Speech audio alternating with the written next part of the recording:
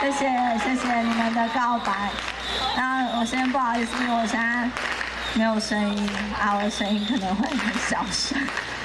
感谢感谢咱伟大的高雄雄亲，非常感谢大家的支持。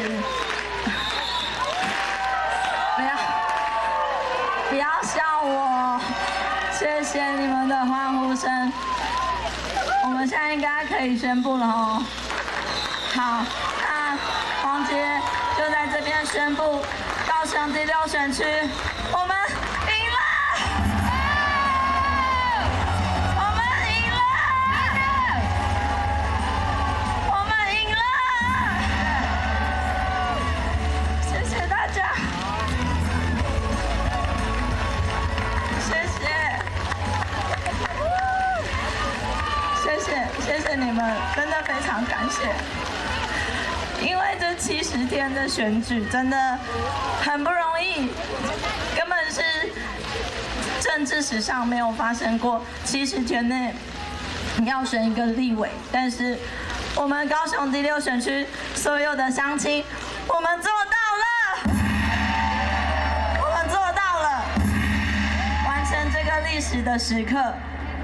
让黄杰顺利来当选，谢谢。那当然要首先要非常感谢我们高雄的大家长陈其迈市长，从一开始他就非常相信我，他相信我可以接下这个非常困难的任务，在高雄第六选区，他相信我的能力，相信黄杰有这个勇气。虽然是一个很年轻，真的三十岁而已，三十岁的年轻人在高雄。也可以出头天，那这就是我们高雄人的精神，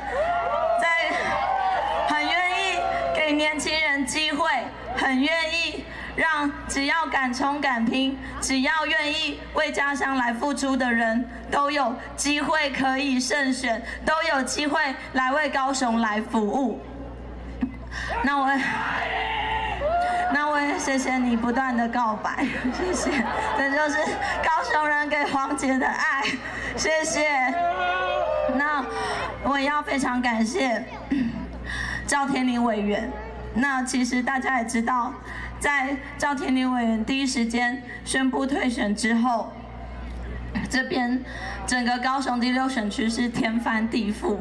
因为我们这里本来是可以稳稳的拿下来的一区，他在这里经营了二十年，他的青春岁月都奉献给高雄第六选区，但是在这么关键的时刻，他第一时间就说，他愿意退居幕后。他要让我们高雄队都可以赢，所以黄杰接下这个重担的时候，他其实在背后也做了非常多的努力，在后面运筹帷幄、穿针引线，把他所有二十年来的成果都交在我身上。